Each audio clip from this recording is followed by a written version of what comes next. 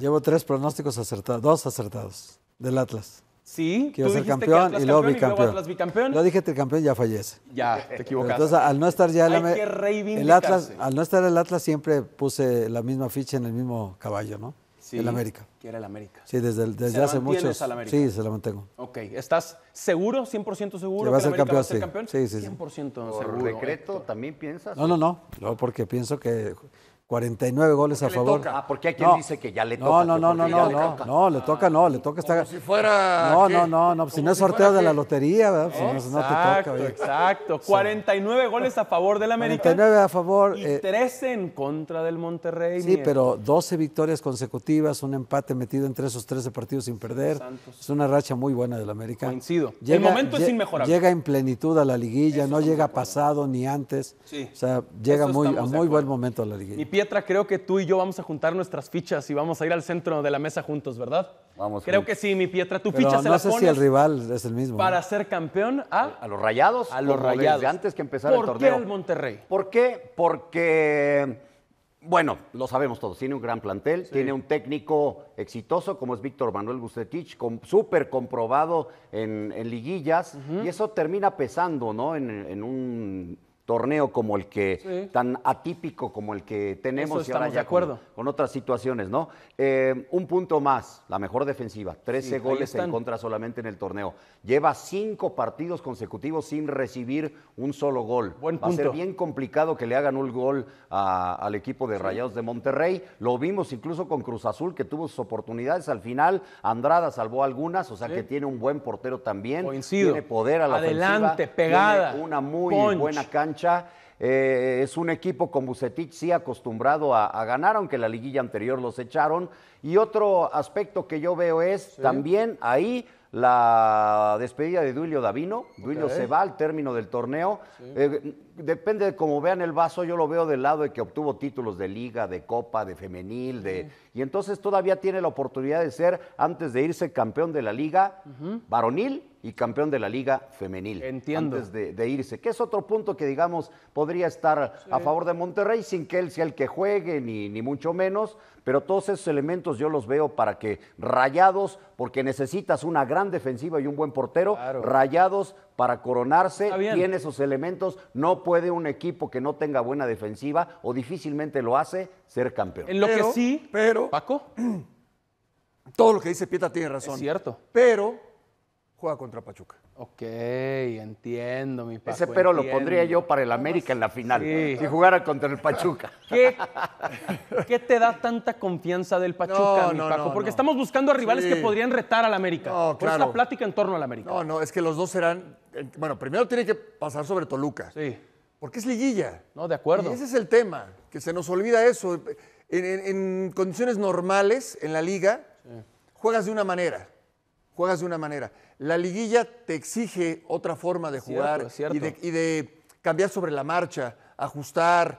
eh, el, el tema de la estrategia, ¿no? Me voy al frente o espero, un, un montón de cosas que quizás tienes que adaptar a algo que no hiciste durante el torneo. Claro. Y yo creo que en ese sentido, por ejemplo, Pachuca y Monterrey tienen muchísimos argumentos para ganarle al América o al Toluca. Entiendo. Muchísimos. Entiendo. Va a ser una, una semifinal. Las 12 me agradan. Ah, porque sí, lo de, a mí también, a mí lo de. América, Toluca América en la, en la bombonera, la verdad de pronóstico reservado. Puede pasar cualquier cosa. Ahora, lo que dice Pietre es cierto. Todo suma, ¿eh? Y la despedida de Duilio también. Porque me imagino que tiene una buena relación con el plantel. Y el plantel querrá de alguna manera despedirlo, ¿no? Con un título. Sí. Entonces, eh, eso suma. Y, y- y el tener a Bucetich, a Víctor Manuel ahí como entrenador también. Pero ¿sabes qué?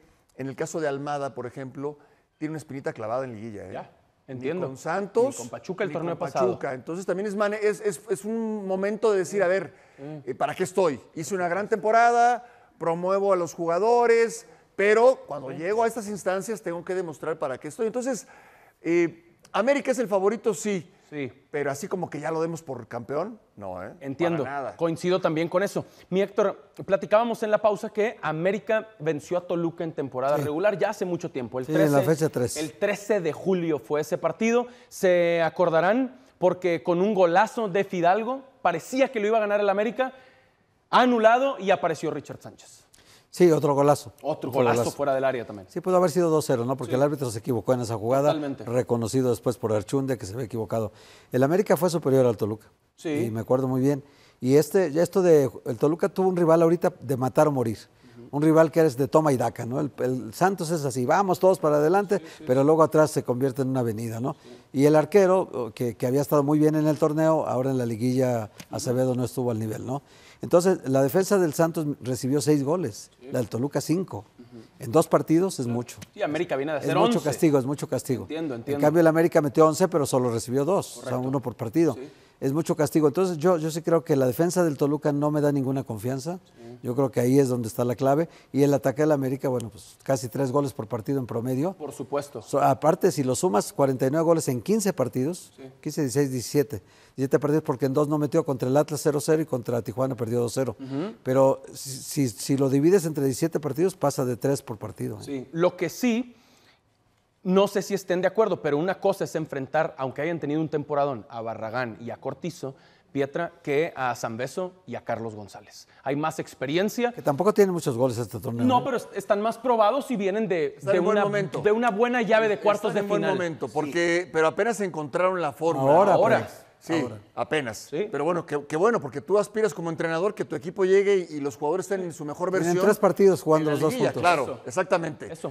Te agrego. eh, No, perdón, que bendita liguilla. Yo digo, Eso es, es bendita que liguilla a todos porque, nos encanta, no hay Claro, duda. ¿de qué estaríamos hablando si el Totalmente. título ya lo tiene la América desde hace tres eh, semanas o, o desde la fecha 14? Sí, sí, sí, sí. Bendita liguilla. Entiendo. Y, y Toluca viene de enfrentar el mejor partido de liguilla, ¿no? El más espectacular, que fue la ida con el Santos. Eso nos puede ofrecer Toluca en, este, en este partido. Y yo te agrego a, A uno de Toluca. por favor. Jan Meneses, insisto en Jan Meneses. jugadorazo, Totalmente, jugadorazo. totalmente. Y, y es hombre de todas las confianzas porque con él fue campeón Sí, en el León. 100%. Eh, Ambriz. Lleva nueve goles. Fernando. Navarro.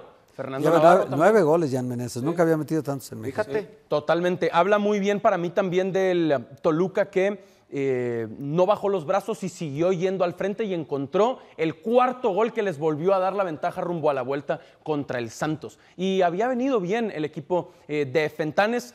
Aunque lo ganaba cómodamente el Toluca de entrada y le abrió la puerta a Thiago Volpi, que esa también para mí es, es- es una buena forma de verlo. Ya se equivocó Volpi, falló y resolvieron la eliminatoria y pidió el penal y lo metió y tal. El América ha jugado perfecto, no ha cometido sus errores. Ahora, me- me- y pasa. me gusta ver- No vas a jugar perfecto todo el En tiempo. producción nuestro querido Alex, que no quita el cintillo, ¿eh? No, no, De no, la es América que es un en hecho que son los más no lo dominantes. quita, sí, son no los lo más quita. dominantes. Sí, sí, Me sí. llama la atención. Eh, Sí son, a ver, la experiencia en liguilla. Bueno, la experiencia. Porque de repente decimos ideas nuevas, innovadores. La experiencia en cualquier ramo, ¿eh? Sí. En, la del deporte, en la vida. Eh, Nacho Ambriz le dio el dulce a Fentanes. De acuerdo. Claro, es que no la metimos. Sí, está bien, pero recibiste seis goles. Y en todo caso te hacía falta uno. Uno.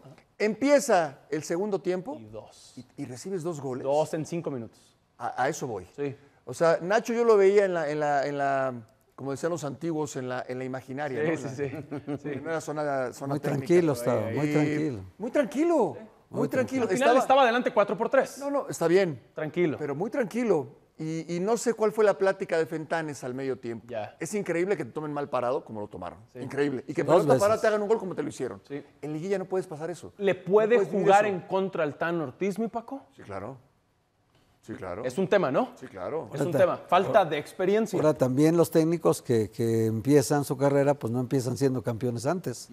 O sea, este está, por supuesto, por el Tano está empezando y lleva un proceso muy bueno con el América. Tiene un equipo para ser campeón, tiene un respaldo de 11 que juegan, de 10 que están en la banca, que son de altísimo nivel todos. Tiene ese respaldo, ha sabido manejar las piezas, no tienes disconformidad adentro, porque a veces manejar los grupos es muy complicado. Cuando tú no juegas, siempre estás enojado, no quieres jugar. Claro. Y él ha sabido manejar esto, ha sabido dosificar las cargas de todos. Han entrado y salido jugadores y el equipo no pierde la forma y el equipo no pierde su capacidad de hacer goles. O sea, por más que atrás se equivoquen los defensas, los cuatro de adelante son unos demonios para hacer goles. Y luego metes a Brian Rodríguez, te hace goles. Metes a, a Federico Viñas, te hace goles. Bueno, Roger. hasta Jürgen Damm ya hizo un gol, se lo anularon, pero lo anularon. hasta Jürgen hizo un gol. con todo el estadio Azteca, Claro, me sorprendió, me ¿El meme de sorprendió. ¿Eh? El DM de Jürgen Damm. Sí, está muy ¿no? bueno. No, no, y cuando se quita la camisa y- El bicho y el piojo. Involucró a todos. El bicho y el Ah. insecto. Sí, El sí, lo el insecto. mataron, lo mataron, lo Saludos mataron. para el perro pero, sí, pero se atreve a hacer eso. Sí, No, no, es maravilloso. Y conectó con todo el estadio Azteca. no hablen mal de él, ¿eh? No, No, es- cuidado. es un tipazo. No, no, Cuando, no, tenga no. La, cuando tenga la En banda, unos años- Ya supe, ya supe. En unos Ya supe sé, que no sé. está proponiendo la quinta. Ya lo vi, ya lo vi. No, qué bárbaro. En favor de, de- del América queda para el Tan Ortiz, porque es un tipo que absorbe, se le nota, ¿no? O sea, absorbe y toma lo bueno y lo malo y eh, lo desecha. el- la, la liguilla anterior Claro. con el Pachuca. en Claro, ahí tiene semifinales. que aprender. Eh, de ahí creo una que perdió- lección, feo, perdió feo.